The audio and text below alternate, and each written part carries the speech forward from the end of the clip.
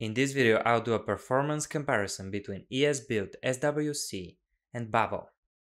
ESBuild and SWC are based on Go and Rust respectively, and in theory they should be more performant than any Node.js based tool in computationally intensive tasks, such as compiling and bundling JavaScript. My methodology is to benchmark these tools on open source projects of different sizes. My idea is that these projects represent well the average project sizes of web components and web applications that the users of these tools will use them for. I've included Bootstrap, or more specifically the JavaScript components in the Bootstrap library, to represent a smaller UI library of components. I've also included Math.js as a representative of a library of utility functions rather than UI components. It's also relatively small compared to the other libraries in the list.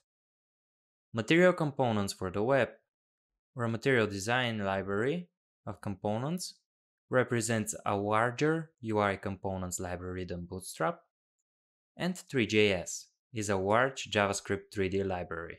For this comparison, ESBuild, SWC, and Babel are configured as closely as possible, with the same browser targets and minification turned off. Let's take a look at the results. The results for Bootstrap already show that SWC and ESBuild are significantly faster than Babel. Here, SWC is also faster than ESBuild, but you'll see later in the other benchmarks that these differences even out as the project size grows. With Math.js, we see very similar results. Both SWC and ESBuild did almost the same times as they did with Bootstrap, but as the Math.js library is a little bit larger than the Bootstrap JavaScript, Babel did even worse this time, finishing in 1.36 seconds. The Material Design Components library is almost 10 times larger than Bootstrap, and we see a very different picture here. SWC is now slower than ESBuild. Both SWC and ESBuild still maintain their significant performance advantage compared to Babel, which is now even slower. One important remark here is that the Material Design Components library is written in TypeScript. Three.js is very roughly the same size as the Material Design Components library, and here we see a very similar picture, although Three.js is not written in TypeScript, but in vanilla JavaScript. Here, ESBuild is again the fastest build tool, with SWC coming in second. Babel continues to be the slowest build tool by a large margin. I did not find the need to experiment with larger projects as they are very rare. These libraries represent well the average size of a web application or components library. I can draw the following conclusions from these experiments. Both SWC and ESBuild significantly outperform Babel, and the difference becomes even more dramatic as the project size grows.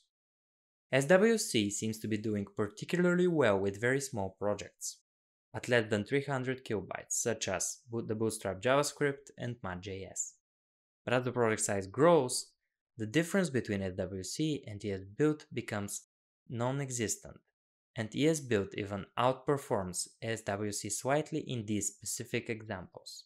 I would say based on these results that it's viable to consider SWC or ESBuild for your build process, there seems to be a significant performance difference between them and the Node.js based build tools such as Babel.